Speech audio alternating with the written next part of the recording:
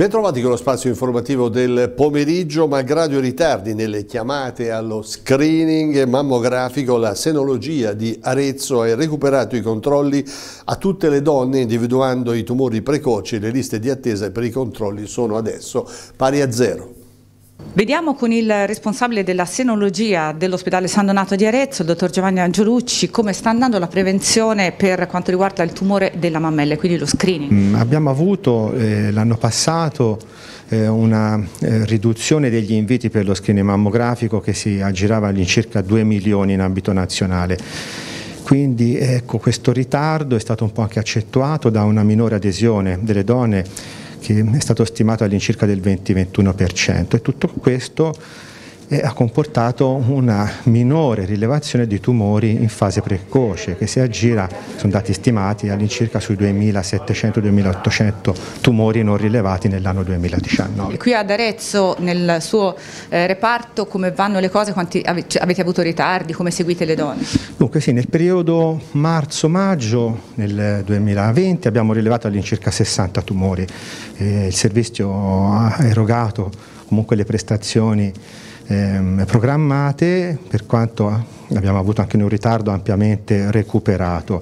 Ehm, Nell'anno passato abbiamo rilevato complessivamente 350 tumori.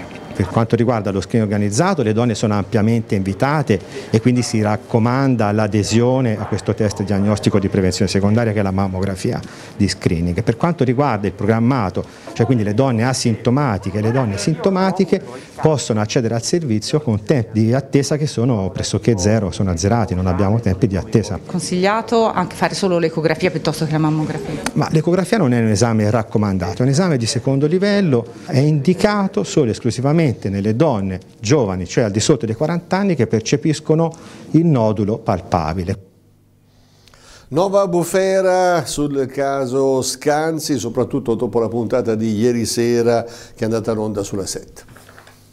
Non si fermano le polemiche sul caso Scanzi dopo una settimana di relativa tregua ad accendere la miccia. È stato il deputato d'Italia Viva Michele Anzaldi che in una nota diramata dalle agenzie chiede la riunione del comitato etico della RAI. Anzaldi non si capacita perché il giornalista del Fatto Quotidiano sia ancora libro paga della RAI. In carta bianca, dice Anzaldi, è stato esaltato il modello saltafila di Scanzi. Ieri sera nella trasmissione sulla 7 condotta da Giletti solo emerse contraddizioni che hanno indotto le rete commerciali a sospendere la posizione del giornalista. Dunque una polemica che non si ferma e che è stata rilanciata anche dopo le dichiarazioni rilasciate dal DG della ASL Toscana Sud Antonio D'Urso che ha fatto capire come nella lista dei panchinari al momento della somministrazione del vaccino dato a Scanzi non fosse presente la categoria dei caregiver a cui Scanzi ha detto di appartenere confermando che è in corso una indagine interna per capire capire come tutto ciò sia potuto accadere. Nel corso della trasmissione è stato fatto vedere anche il post di Monica Bettoni, medico in pensione ed ex senatore, che è tornata in questi giorni a dare un aiuto ai colleghi dove si rassicurava lo stesso Scanzi sulle dosi di AstraZeneca non utilizzate che non sarebbero finite nelle fogne.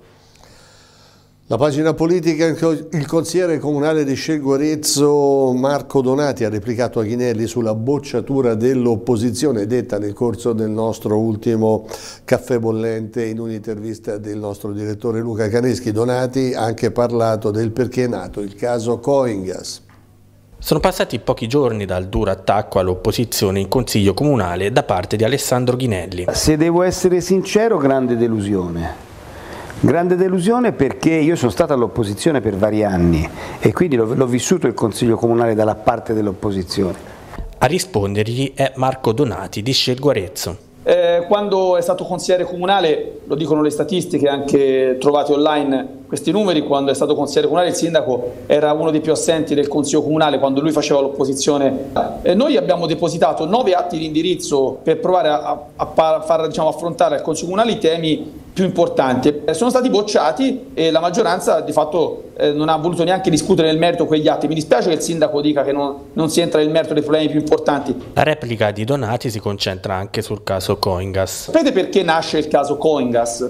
Il caso Coingas nasce perché Coingas, la, la, azienda, la nostra vecchia azienda diciamo, del, della distribuzione del gas, che poi è confluita in Estra, in base al decreto Madia era considerato una di quelle aziende da tagliare perché non aveva più eh, eh, di fatto un consiglio d'amministrazione, non aveva più dipendenti e, e le consulenze di circa 500 mila euro che sono state ehm, poi oggetto dell'inizio dell'indagine, 500 mila euro di risorse pubbliche, erano state, secondo l'assemblea di Coingas e di tutti i sindaci di Coingas, quindi in questo caso è libero il sindaco da un'unica responsabilità, in quell'assemblea fu deciso di destinare bilancio, nel bilancio delle eh, disponibilità a dei consulenti per decidere il futuro di Coingas. Non c'era da decidere il futuro di Coingas, c'era da dare vita alla legge Madia e tagliare eh, le aziende partecipate che non servivano più e in base alla legge non dovevano più svolgere quella funzione. Locale chiuso a Saione all'interno persone giocavano a carte senza rispettare le normative anti-Covid. Continuano i controlli della Polizia Municipale per verificare eventuali locali aperti con all'interno clienti ed assembramenti e in questo ambito è stato chiuso un locale per mancato rispetto della normativa anti-Covid. È accaduto domenica pomeriggio nell'ambito dei numerosi controlli in centro indirizzati a verificare l'effettiva chiusura alle 18 delle attività di somministrazione. In questo caso è toccato ad un circolo a Saione finire sotto la stretta degli agenti della Polizia Municipale. Al suo interno infatti tre persone si trovavano sedute tranquillamente ad un tavolino mentre consumavano bevande. I provvedimenti a carico del gestore sono stati la sanzione amministrativa di 400 euro e la chiusura del locale per 5 giorni. I controlli proseguiranno finalizzati a verificare il rispetto della normativa anti-Covid, visti i molti casi che ancora si registrano in città. Attenzione alle false notizie o fake news quella di ultima generazione per così dire riguarda i positivi sorpresi al supermercato. Da positivi richiamati dall'altoparlante che un giorno vengono collocati in un supermercato, un giorno in un altro, dal negozio che ha aperto e hanno fatto una maxi multa alla mega festa. Le notizie false o fake, come vengono chiamate in gergo, abbondano senza pietà per chi sta davvero male o per chi ha necessità di informazioni precise. L'ingenuità di crederci è giustificata dal fatto che in questi tempi di restrizioni ci si appiglia a tutto senza remore. Occorre però fare attenzione, primo per evitare evitare inutili catene sulle chat o sui social che generano polemiche e disinformazione e due per cadere in quelle che spesso, oltre che false notizie, sono anche truffe belle e buone che rischiano di indurre chi riceve messaggi farlocchi a fornire dati sensibili e ritrovarsi con conti svuotati. In questo caso occorre sempre avvisare le forze dell'ordine e ascoltare per le notizie gli organi di informazione ufficiali. Il mondo del benessere chiede la riapertura anche in zona rossa, solo un'impresa su 5 potrebbe accedere ai contributi previsti dal decreto sostegni.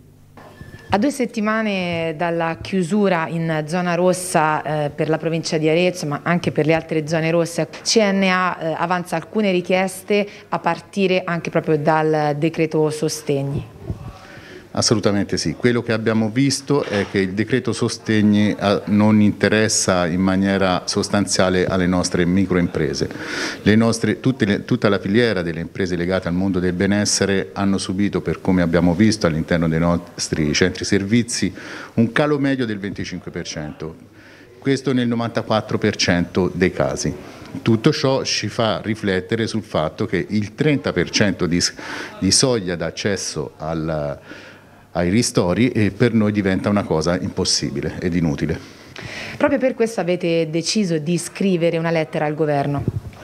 Esattamente, abbiamo deciso di portare una lettera aperta a Palazzo Chigi indirizzata al Presidente del Consiglio Mario Draghi, al Ministro Speranza e al Ministro della, dello Sviluppo Economico in cui chiediamo con forza la riapertura delle nostre attività in zona rossa come era prima, quindi per gli acconciatori ma soprattutto anche per le estetiste e dopodiché anche una rivisitazione di quello che è il carico fiscale a carico delle nostre aziende, oltre che a uno stop di quelle che sono oh, le tasse del 2020-2021, perché le nostre aziende sono talmente tanto in crisi a livello di liquidità, a livello economico, che non, ha, non hanno la forza per poter rifondere queste tasse.